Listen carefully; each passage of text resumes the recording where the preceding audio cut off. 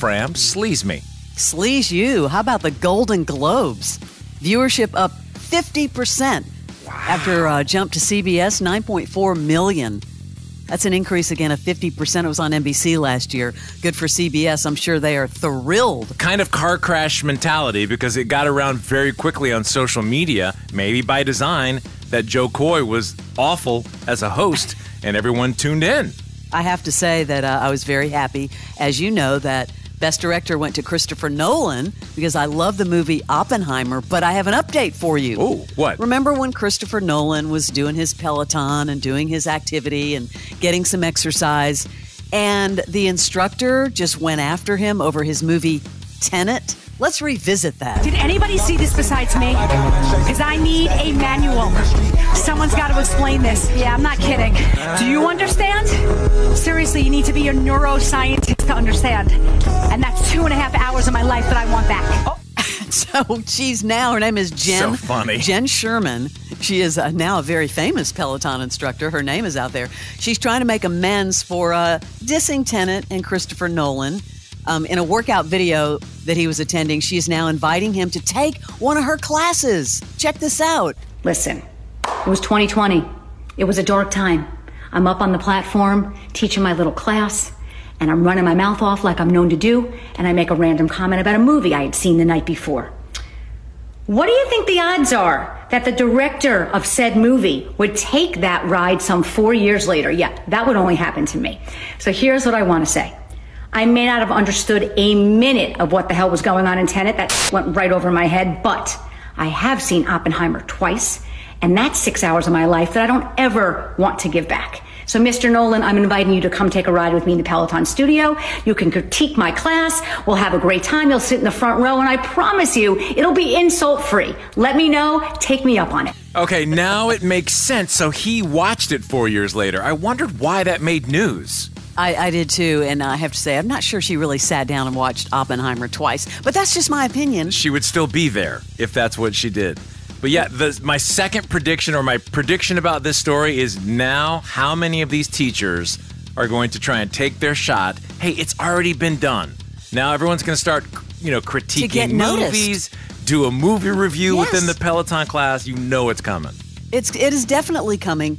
Barnes, one story that we did not get to about the Golden Globes the other night was that really awkward moment. There were many on stage with Kevin Costner. Oh yeah and Barbie's America Ferrera. Now, you know, he didn't go last year, but he showed up this year, looked very handsome on the red carpet, and he was announced as they, they actually, his introduction was about Horizon, his upcoming film, you know, that he's the star, director, executive producer. Yeah. No mention of Yellowstone.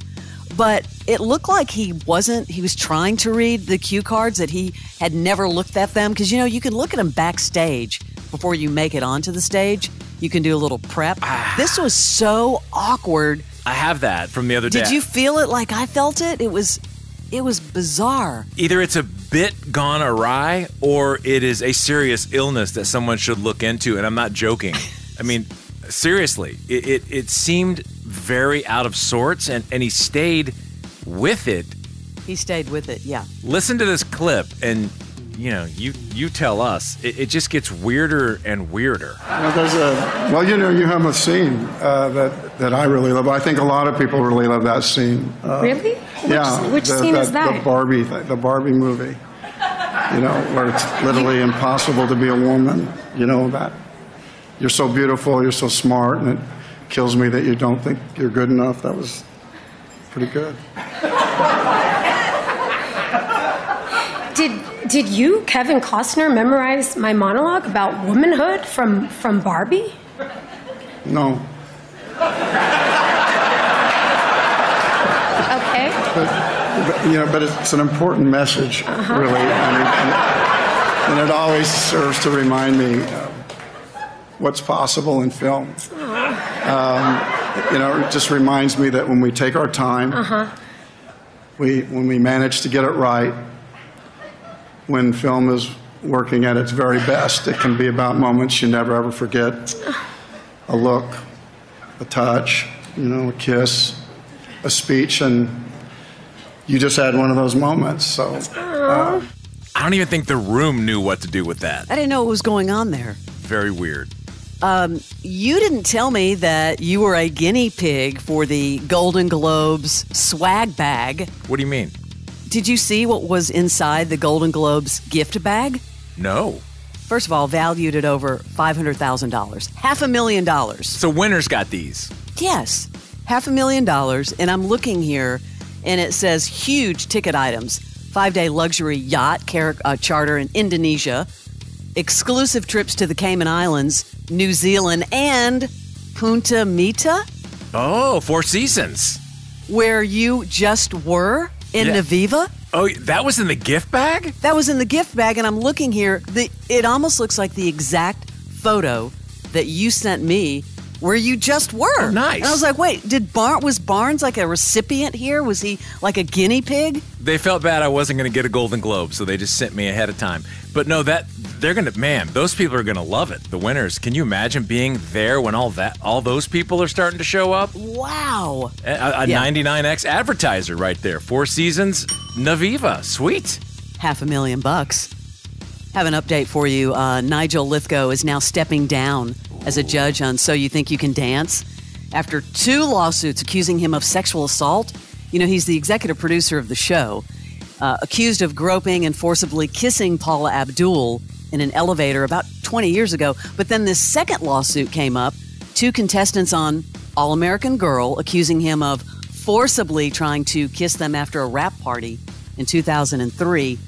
Quote, I have informed the producers of So You Think You Can Dance of my decision to step back from participating in this year's show. I did so with a heavy heart. Man, tight. That does not sound good. You kind of also start to wonder, like, you know, what's going to happen next, right? Well, he, he sure jumped out of the pool quickly. You know what I mean? Usually they fight it a little more. Yes. I agree. Pretty fast. Lisa Bonet ready to finally end her relationship with Jason Momoa officially. She just filed for divorce, according to new court documents obtained by TMZ. Uh, a dissolution of the marriage, but this is like two years after they announced that they were splitting. This is happening a lot in Hollywood where people sort of draw things out, but yeah, a couple of years. Is it a financial play when that happens, or is it just. No, on the money front, um, she's not asking for spousal support at all. Oh, good. I mean, they have, you know, obviously they have two children together. Good for him because, man, the California math is tough. Very sad story, uh, the continuing story of Mary Lou Retton. Sharing news of her recent health scare. Remember, she fought a rare form of pneumonia last year. And then, of course, she went on uh, one of those spot funds to cover her medical bills. She didn't have insurance, raising over $450,000. Now she just talked to uh, Hoda on the Today Show to share part of her story. This is serious and this is life. And I am so grateful to be here. I am blessed to be here. Because there was a time when they were about to put me on the mach- life support. Man, that and she had the oxygen hooked up to her is very sad, sad story. It really is. We wish her well, Mary Lou Retton. We talked about how in the ratings, the uh, Golden Globes doubled on CBS, doubled the viewership. Good for them. But I did not realize until the Golden Globes that there's a new couple alert. Who? Ali Wong from Beef, who, you know, she won Yep. Best Actress, and you saw Beef.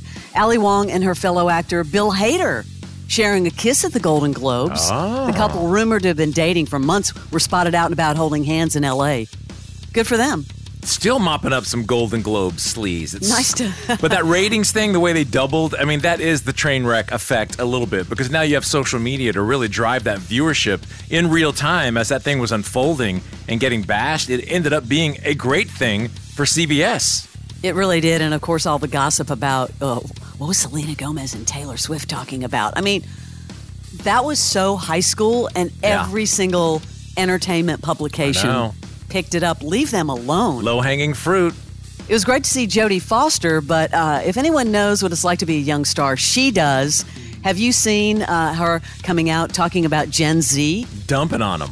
Seriously, dumping on them. They're really annoying, quote, especially in the workplace. Gen Z. They're like, yeah, no, I'm not feeling it today. I'm going to come in at 10:30. she did offer some encouragement. They need to learn how to relax, how to not think about it so much, how to come up with something that's theirs. I mean, take some advice from Jodie Foster. Yeah, truth cuts deep. She was also talking about misspelled words, and they didn't think that was important. But that that says a lot about her work ethic, which I love. I mean, she's she's calling. You know, it is what it is.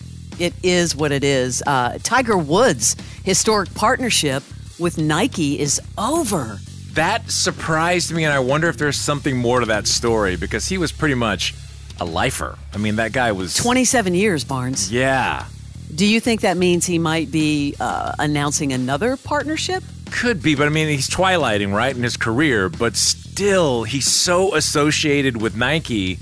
It would be really hard to shift this late in the game and, Mm-hmm. and have it matter because you're always going to look at Tiger and think of the swoosh.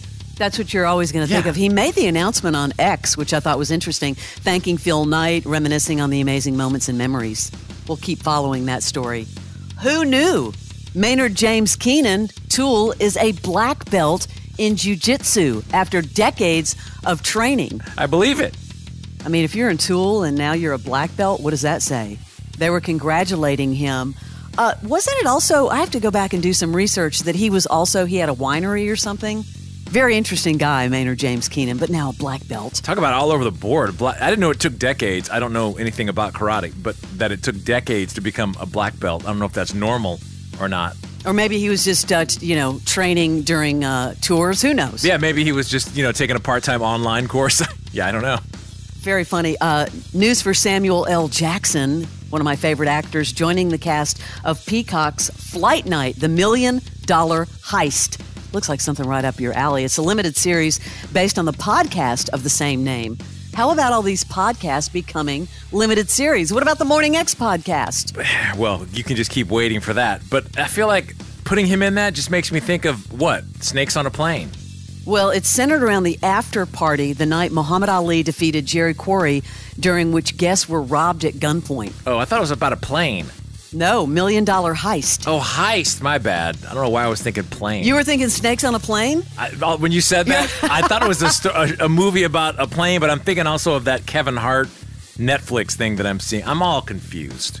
That's okay. I mean, I'm here for you. You're here. Um, young actor Jacob Elordi, who you're seeing a lot of, will take Andrew Garfield's place in the Guillermo del Toro Frankenstein adaptation on Netflix. That's going to be big. Christopher Waltz is also in it. Uh, Andrew was supposed to play the role, but now it's going to be Jacob Elordi. You've seen him, you know, he was the one that was in Elvis, the Elvis movie, Sofia Coppola's Priscilla. He also starred in Saltburn. I have yet to see that. So much talk about it. It's just another, like, dirty. Yeah. Uh huh. Yeah. Did you watch Euphoria on HBO? He was in that as well. Right. And it's and Saltburn. He was in Saltburn and Euphoria? Come on. okay. There's a theme going there. A former employee of the One Hotel West Hollywood went on TikTok to claim that Brittany Mahomes, of course, wife of Patrick Mahomes, refused to leave a tip after dining at the hotel. Now, the server alleges that Brittany and her group had a bill of about 130 bucks and that no one received a gratuity from her during their stay. I would often say that TikTokers, you know, they're on the very bottom of the credibility list, right? I mean, come on. This- Sometimes. in the beginning of this clip, you you kind of go, "Yep, here we go, another TikToker." But then But I believe this girl. I she's what you be the judge, right? You be the judge, but you know, sometimes you just feel it inside, right? And I feel like I believe her. I worked at the One Hotel West Hollywood. I was a server, barista, bartender. I did every position, and I believe Brittany was in town to shop for her wedding dress. And my first interaction with her, she ran up over a hundred dollar tab. She was with her whole posse. Uh, Patrick was not there, but I believe their tab was well over a hundred dollars, maybe like 130, zero dollar tip. And that happens sometimes. So I was willing to let the first one slide. And I'm like, maybe she just didn't like me. Maybe it was something I said. Um, but they were there for almost a week, I think, and did not tip a single one of our staff. And not only did she not tip, she was just genuinely unpleasant. And I totally understand celebrities don't owe you anything, especially when you're out in public. As a public figure, you should always go out thinking, okay, the people I interact with are clocking these interactions and they're going to remember this. And I will always remember that, Brittany. See, I believe her, and one thing I have to say, she's a hard worker. And I wonder if if maybe uh, she thought that someone else was leaving a tip, just to give her the uh, Brittany Mm, well- the benefit of the doubt. No, As the as the public judge of this clip, I would say, well, she just said that they were there over a week and no staff members received the tip. that's not good. And if you look at her behavior, Mahomes, and that whole little circus that travels with her, minus Taylor Swift, I'm sure she tips. It, it doesn't seem like a stretch. That's all. That's how I interpret it. That's just my. I will say the girl sounded believable. She totally sounds believable. But that shame on you if that's true. Come on. Yeah. Especially if you're someone with that kind of jack. Leave a tip. Idiot. Is that my celebrity sleaze? No. Keep oh, going. Oh, okay, Don't good, stop. good. Well, I wanted to bring this story up because the uh, Patriots owner Robert Kraft threw his wife Dana Blumberg a little surprise 50th birth party, uh, birthday party at the Apollo Theater. Guess who he hired for the party? Who? A band? Dave Matthews. Oh, really? That's cool. Yeah, he kept it for a surprise for over five months, lining up about 200 friends. How do you keep that a surprise? I don't know, because if you work at Dave Matthews Bank, you probably saw a pretty big transaction come through. Ah. Kraft is on the board of the Apollo, which is now being renovated and restored to become the Apollo Performing Arts Center. I have been to the Apollo. It is majestic. You're an insider, Fram. What would it cost to hire Dave Matthews to play your birthday? It's got to be a million or more. Yeah. It's Gotta be. Yes. I thought that was huge. You never mentioned, because I know you're a Suits fan, that reunion at the Golden Globes with uh, Patrick J. Adams, Gabriel Macht, Sarah Rafferty, Gina Torres. Coming out, kind of a surprise. Well, maybe not a surprise, but uh, they came out on the Golden Globes to present, it, but no Meghan Markle. Well, that's too bad the show didn't have the same take and no Meghan Markle. It would have been a much better show. I bet. Well, reps are saying her reps, Meghan's reps. Unfortunately, she had a previous commitment, but she's not in their suits group chat. They just don't have her phone number. Yeah, she's too cool. I'm, get, I'm get, kind of guessing they don't like her. Maybe I don't know. She wasn't the best part of Suits. She just wasn't. And I love that show. Have you watched uh, May December on Netflix? I've, you know what? That's one of the ones that as I go, because it's still in that first row of, you know, poster art, I go to it and I never hit play and I, stop and I think about it and then I just keep going on. I did finish, though, however, Love is Blind. You finished Love Is Blind. Yeah. But you have not finished uh, Fool Me Once that you turned me on to. I- I've got two more to go. And everyone listening, if you haven't gone to Fool Me Once, this is such a great binger. So good. Fram did it in one day. After your recommendation, That's eight hours of television you did in one day. it was the holidays.